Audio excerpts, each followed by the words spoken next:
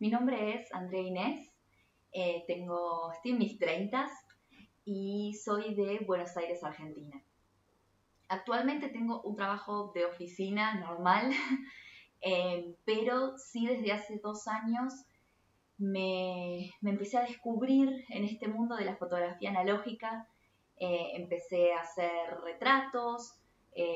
después la gente me empezaba a preguntar cosas por Instagram que yo simplemente respondía, me, enamoré mucho de esta comunidad, eh, de cómo es eh, la gente, de lo que compartimos, eh, de toda esta cultura de lo analógico que tenemos en común.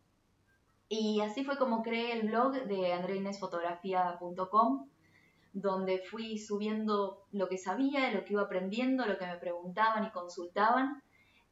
luego esto se transformó en el curso presencial Aurora, que ya en este momento, que es diciembre del 2018, va por su cuarta entrega eh, y ojalá puedan ser muchas más. Y ahora es este curso eh, en línea para que más gente pueda, pueda acceder y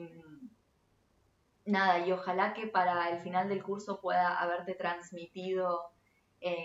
todo lo lindo y hermoso que me parece a mí la fotografía analógica y que puedas eh, salir con tu cámara y retratar el mundo de esa manera única que cada persona lo ve.